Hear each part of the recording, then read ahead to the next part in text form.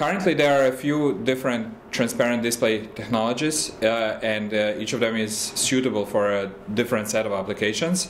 These include organic transparent displays, uh, reflecting displays, as well as fluorescent displays. And what we were trying to achieve is something that's particularly simple to implement and uh, that's uh, fairly cheap and scalable. So typically, you either project images onto a white piece of wall, which uh, does the purpose because it scatters light, but it is not transparent you, light cannot go through.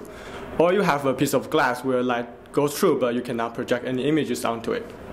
So if we can actually project images onto glasses, then it will enable much more opportunities. For example, you can now project onto the window of a store so that it can display information of the, the products inside, or you can project uh, images onto an office window or on the windows of, say, a subway train. So the way that we went to implement this is we embedded resonant nanoparticles into a polymer, so you can think of it as a plastic foil.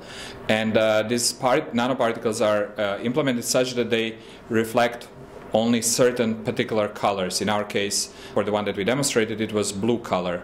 So it will strongly reflect that particular color, but all the other colors will go through. Therefore, our transparent screen is simply a sheet of transparent plastic with some nanoparticles in it.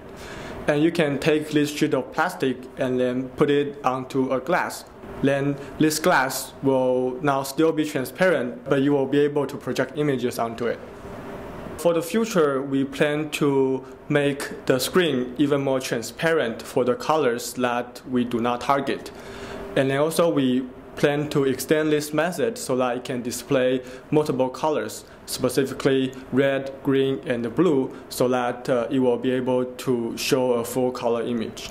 Since this is a relatively simple method and uh, it is really cheap to actually make these plastic foils that display, we can envision that in the future people will just go to convenience stores to buy this piece of plastic, go home and just put it onto their windows or uh, wherever they want to project uh, images. And then they will be able to turn that transparent uh, glass into something that's useful that can display.